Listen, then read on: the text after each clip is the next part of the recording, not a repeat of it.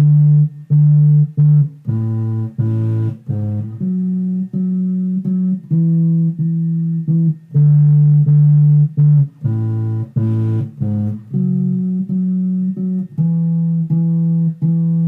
and now, in the place we call Canada, there is indeed a justice system we don't know about. In school, we were all taught about justice and its ways, and we even heard of citizens and the roles they play. citizens' roles in the justice system is more than you would think. For example, you do jury duty uh, amongst other things. Juries, defense, prosecution, and sequester. They decide a criminal should go to jail and fester.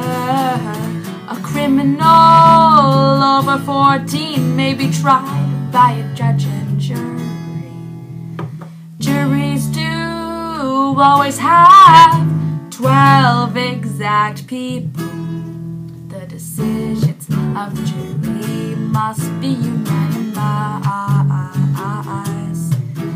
And if you are over 18, you are eligible for this.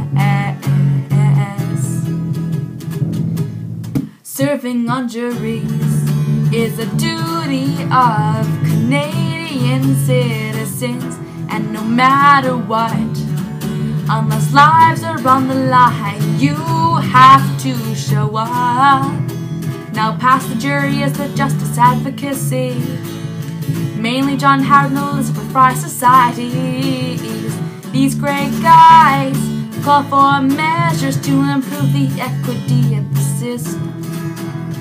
Elizabeth Fry takes on troubled women and girls, and John Howard goes towards every human being.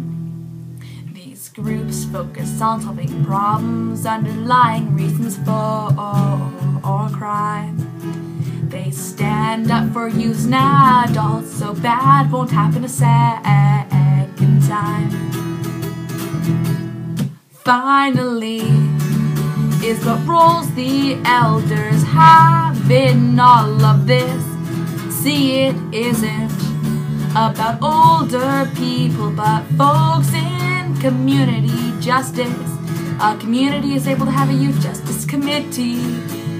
The committee volunteer to work with young offenders. This cool thing. Consequences, young people for bad things they do.